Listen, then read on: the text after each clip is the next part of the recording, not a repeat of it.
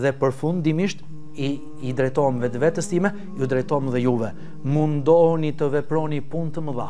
Mundohuni të shikoni sa sado larg. Shikoni larg që të hidhni hapa të mëdhenj. Përndryshe nëse shikon sot për nesër, atëherë asnjëherë nuk do të bëhesh i dobishëm. Shiko sot për mot, mundohu të kesh një vizion të qartë, një vizion të gjerë, një vizion të të me thënë të jesh largpamës në mënyrë që të jesh i dobishëm jo vetëm për vetveten tënde, për familjen tënde, por edhe për Islamin dhe për muslimanët dhe mos i mendo gjërat ngushtë. Ai që vërtet është besnik, ai që vërtet është i sinqertë, ai gjithmonë fal.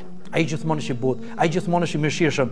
T'i bëjnë lloj lloj zullumesh, lloj lloj padrejtësish, ai prap do të fal. Pse?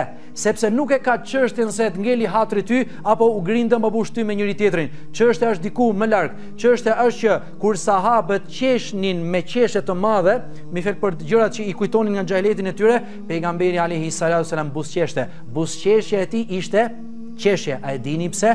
Se në momentin që kalonte një kohë të lirë bashkë me sahabët e, e tij, pejgamberin sallallahu alaihi wasallam Vërtet gëzohej me ta, mirëpo mendonte për gjëra të tjera. Nuk kishte kohë Pejgamberi sallallahu alajhi wasallam të zgërdhihej me njerëzit, të qeshte me kahkaha, me thënë me njerëzit e tjerë. Mirëpo ata që shikonin me që shikonin ngushtë, sahabët e Pejgamberit sallallahu alajhi wasallam, jo të gjithë kanë qenë vizionarë, jo të gjithë shikojnë kanë qenë largpamës, si puna e Abu Bekrit, Omerit, Uthmanit, Aliut e të tjerë, por ka pas dhe sahabë të cilët mendonin gjërat shkurt, ashtu sikur janë njerëzit sot në jetën e tyre të përditshme, mirëpo pejgamberi sallallahu alajhi wasallam këtyre nuk ia prishte, nga ana tjetër nuk qeshte sepse nuk ishte ky qëllimi i pejgamberit alaihi salatu wasalam, por qëllimi ishte kur do të vijë dita dhe në gadishullin arab mos të ketë asnjë person dhe asnjë njeri që të adhurojë idhujt.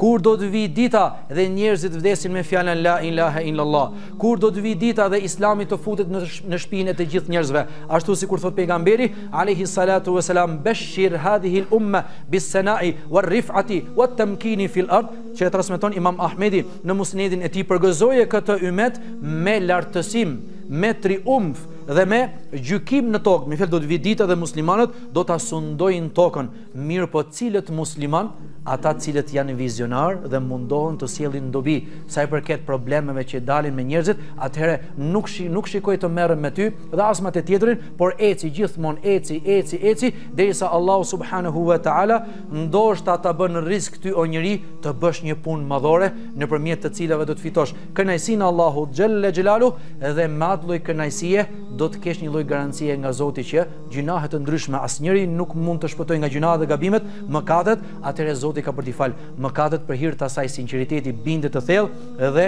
besnikërie që ke tregu në fenë e Allahut subhanehu wa ta'ala.